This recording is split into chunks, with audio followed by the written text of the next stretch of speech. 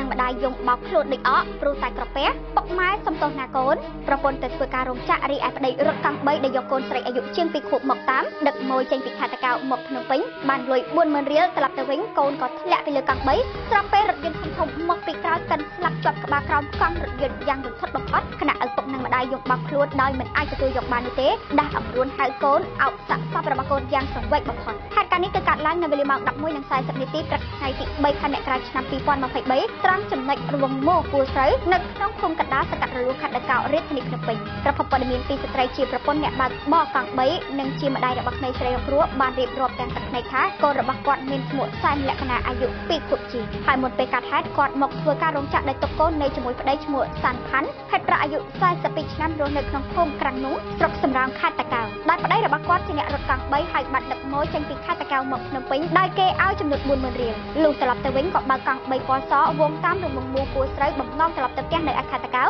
ពេលនោះកូនរបស់គាត់បានដេកលក់នៅកៅអីខាងក្រោយតែក៏ភ្ញាក់ក៏បានឲ្យឪពុកដៃជាអ្នកបើកកង់3នោះហុចដប់ទឹកក្នុងកំប៉ុងទឹកដោះគោដើម្បីមឹមតែក៏ធ្លាក់ដប់លើកង់3កូនរបស់គាត់ក៏ចុះពីកៅអីខាងក្រោយមករើសដប់នោះតែបាយជាធ្លាក់ទៅលើកង់3ភ្លាមភ្លាមឪពុកក៏ ប្រញាប់ឈប់កង់3ដើម្បីឈោងចាប់កូនដែរប៉ុន្តែជាអកុសលក៏មានរថយន្តពីយន្តដៃពណ៌ទឹកប្រាក់ដែលពាក់ស្រក់លេខភ្នំពេញ3អឺ20កុត74ប្រភេទដឹកដីបើកស្រាប់ទៅគ្នាមកពីក្រោយកាន់ស្លាប់ជាប់ក្បាលក្រោមកង់រថយន្តយ៉ាងរន្ធត់បំផុតខណៈឪពុកម្ដាយយកបោកខ្លួនមិនអាចទទួលយកបាននោះទេដាស់អង្រួនហៅកូនអបសាក់សាប់កូនយ៉ាងសង្វេគ បំផុតចំណែកឯអ្នកបើកបររថយន្តចុះរត់គេចខ្លួនបានក្រោយកាត់ហេតុសមត្ថកិច្ចនគរបាលចរាចរណ៍ខណ្ឌដង្កោក៏ដូចជានគរបាលចរាចរណ៍ក្រុងបានចុះធ្វើការវង្វេងយកកង់3និងរថយន្តទៅរក្សាទុកនៅឯការិយាល័យចរាចរណ៍ផ្លូវគុកនៃស្នងក្រដ្ឋាននគរបាលរាជធានីភ្នំពេញរងចាប់ដោះស្រាយគ្នានៅពេលក្រោយទៅតាមផ្លូវច្បាប់និងប្រកល់សັບក្មេងស្រីតូចខាងលើទៅឲ្យឪពុកម្ដាយយកទៅធ្វើបន្តតាម